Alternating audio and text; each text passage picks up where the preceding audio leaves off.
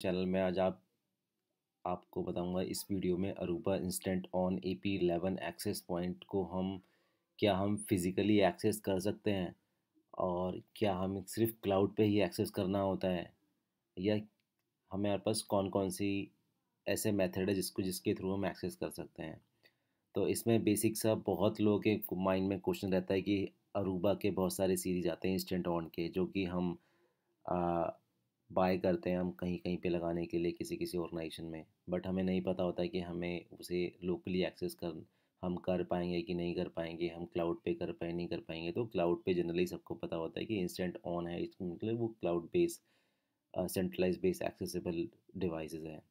सो so, बहुत सारे minds में लोगों के होते हैं। तो मैं आज इस वीडियो में आपको बताऊँगा कि कैसे हम इस A Aruba instant on A P eleven को लोकली एक्सेस कर पाएँगे या नहीं कर पाएँगे या उस उस तरीके से लोकली एक्सेस के थ्रू हम क्या कॉन्फ़िगर कर सकते हैं? सो so, लेट्स मैं ये बेसिकली इसका डॉक फ़ाइल है जिसमें ये ऑफिशियल अरूबा की तरफ़ से है।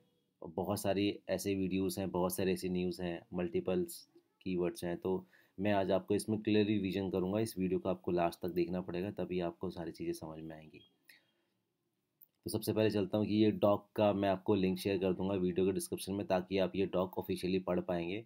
और अरूबा ए पी एलेवन का जो भी इसमें डिस्क्रिप्शन हैं हार्डवेयर पॉइंट्स हैं, किस तरीके का लुकिंग है, कहाँ कहाँ पे क्या क्या पॉइंट्स हैं, मैं वो पूरा कंप्लीट आपको इस वीडियो में बताऊँगा।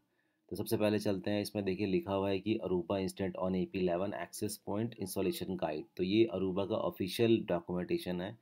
सो हम नेक्स्ट चलते हैं the Aruba instant on A P eleven dual radio access point I triple E eight zero two point one one A C wave two तो basically Aruba A P eleven dual radio access point supported है। Dual radio डूल ratio मतलब होता है कि 2.5 point hertz and 5 hertz ये दो channel होते हैं हमारे पास में, दो फ्रीक्वेंसीज होती हैं।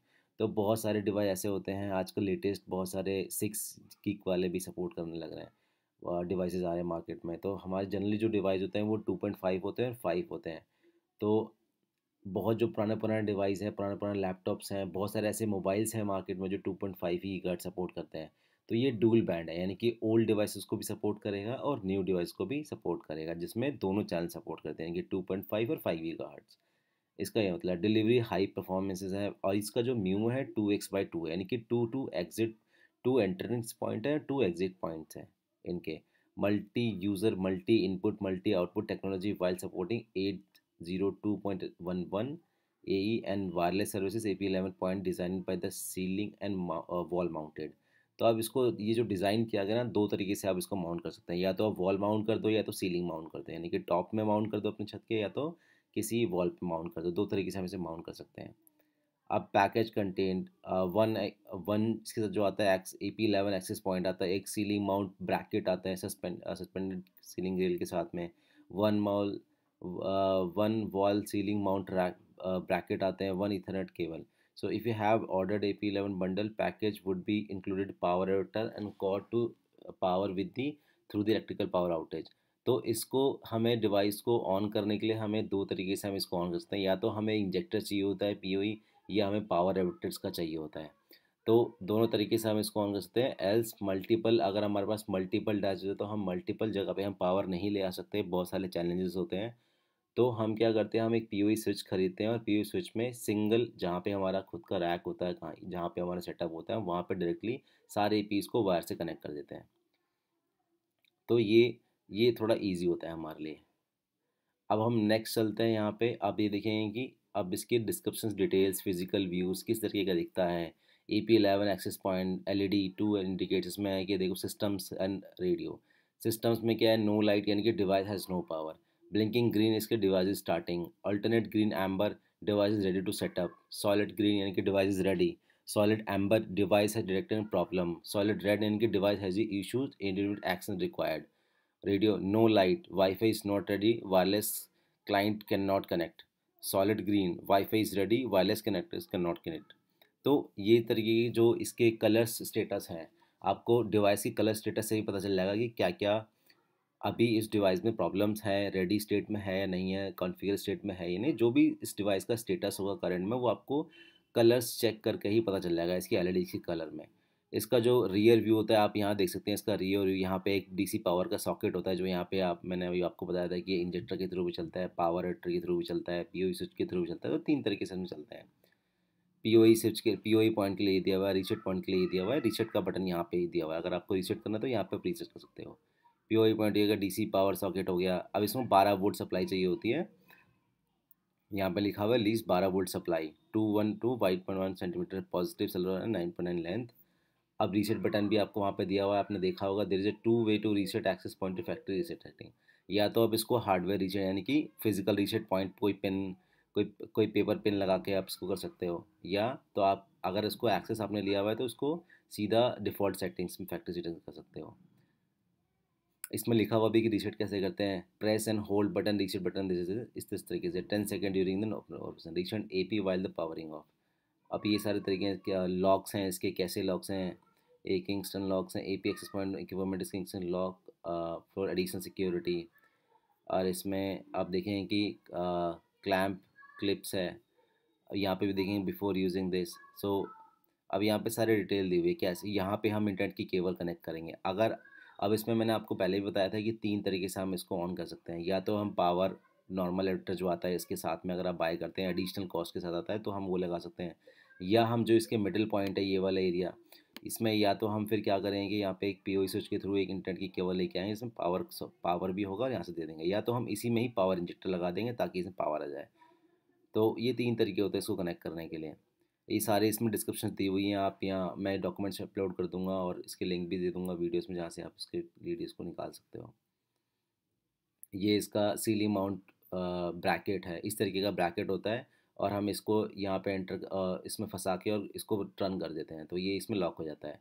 इसका ब्रैकेट इसमें अलग से आता है। ये ब्रैकेट आप देख सकते हैं, सारे ब्रैकेट्स हैं अलग अलग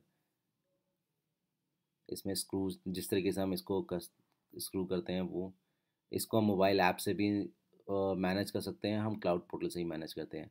अब हम बात करते हैं कि इसको हम, जैसे मैंने स्टार्टिंग में बताया था कि हम कैसे इसको लोकली एक्सेस कर सकते हैं कि नहीं कर सकते तो ये एज़ पर अरूबा हम इसको लोकली एक्सेस नहीं कर सकते कम्प्लीटली नहीं कर सकते।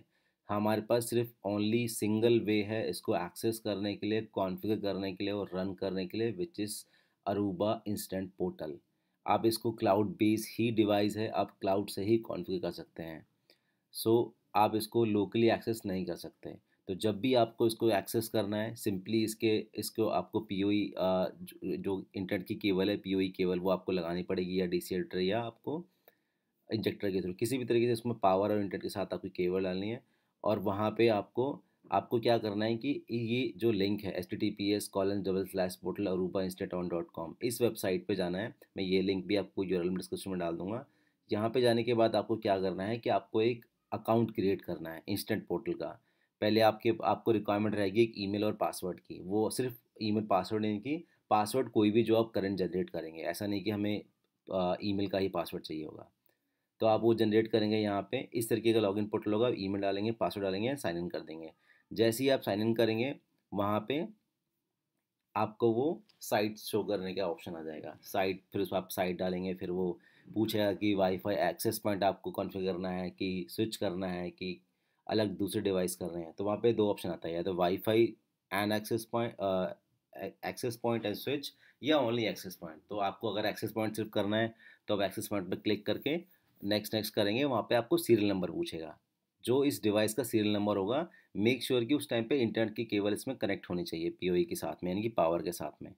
तो आप जैसे ही कनेक्ट करेंगे, जैसे इसको इंटरनेट मिलेगा, इसका जो सीरियल नंबर है, वो क्लाउड में आपको दिखने लगेगा। जैसे ही उस डिवाइस को आप ऐड करेंगे, ऐड करने के बाद आपसे पूछेगा यूज़र नेम एंड पासवर्ड क्या होना चाहिए, आप वो डालेंगे, उसके बाद वो कंप्लीट क्लिक करेगा कंप्लीट करने के बाद वो कंप्लीट हो जाएगा। फिर वो आपको उसमें इंटर डालने लगेगा। तो आप सिंगल साइन इन पोर्टल यानी कि इसी पोर्टल में, आपके पास मल्टीपल डिवाइस और आ जाएँगे, तब उसमें ऐड कर सकते हैं। तो ये एक स्टेटमेंट ट्रू है और की तरफ़ से कि ये इस डिवाइस को आप लोकली एक्सेस नहीं कर सकते। नहीं कर सकते मतलब नहीं कर सकते। आपके पास ऑनली ऑप्शन है, इसको क्लाउड से ऐप को ही एक्सेस करना पड़ेगा और क्लाउड इंस्टेंट पोर्टल से ही आप एक्सेस कर सकते हैं उसको ये इसके इथरनेट्स हैं, ये वन गिग वन एक हज़ार एम तक सपोर्ट करता है इसमें डी सी डायरेक्ट है और पावर और इथरनेट जो मैं पी की जिसकी बात करता हूँ, टेम्परेचर का है कितना मतलब टेम्परेचर ज़ीरो से थ्री डिग्री यानी कि प्लस फोर्टी, ज़ीरो से लेकर फोर्टी डिग्री तक ये सपोर्ट कर सकता है, ह्यूमिडिटी फाइव इतना, स्टोरेज टेम्परेचर तो ये सारी चीज़ें इसमें आती हैं।